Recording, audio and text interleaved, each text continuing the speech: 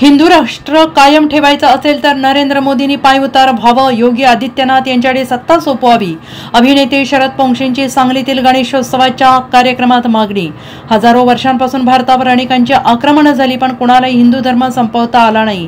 पण या खुळचट कल्पनेत कायम राहू नये भारताला हिंदू राष्ट्र कायम ठेवायचं असेल तर पंतप्रधान नरेंद्र मोदींनी देशाचं नेतृत्व हे योगी आदित्यनाथ यांच्याकडे द्यावं असं मत अभिनेते शरद पोंक्षे यांनी व्यक्त केलं आहे.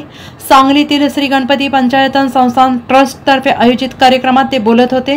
सांगलीतील राजवाड्यातील दरबार हॉलमध्ये गणेशोत्सवाच्या निमित्ताने शरद पोंक्षे यांचं व्याख्यान आयोजित करण्यात आलेलं होतं.